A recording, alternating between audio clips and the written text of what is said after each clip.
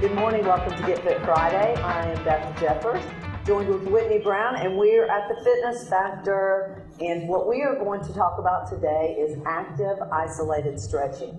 And active isolated stretching is a form of stretching developed by Aaron Mattes, a kinesiologist out of Florida. It's been around for about 25 years now.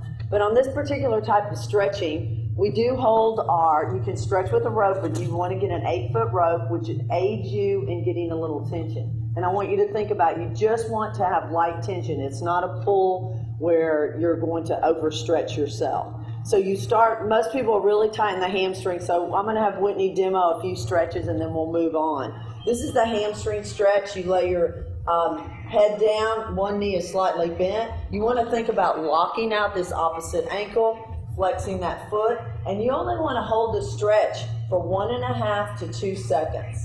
You would do about eight reps of this. This is stretching your hamstring.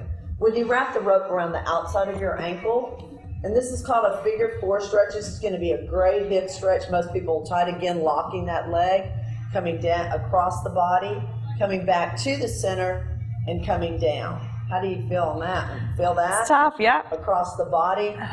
And notice that she's just holding for about one and a half to two seconds as she goes.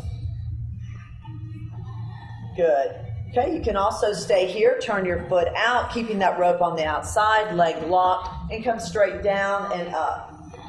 Good. Stretching still. Again, more of the hamstring area, but a different part of the hamstring. You feel a little bit. Oh, yeah. Yes. Now take a moment here and wrap around the opposite side. Turn your foot in. And again, another stretch for more of the inside of the hamstring. Feel that? Mm-hmm.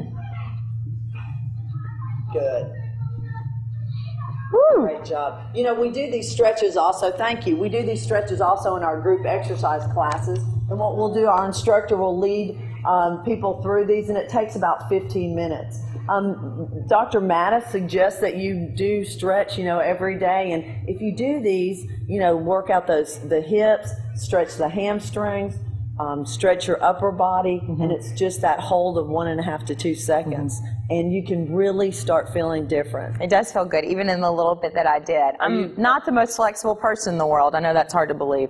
Um, but it is fun, too, because it kind of keeps you going and keeps you moving, and you're having to think about doing something instead of just lying there and waiting. So I know, and I think that's the beauty of it. And that's one thing that attracted me to it. I'm not flexible either because you, we're used to exercising. So we're kind of as we move, we are just, our mind's not on it as much, so to speak. But it really works, and it's something to look up on the internet if you're mm-hmm. interested. It's called Active Isolated Stretching, and it's been very well received here at the Fitness Factor. Absolutely.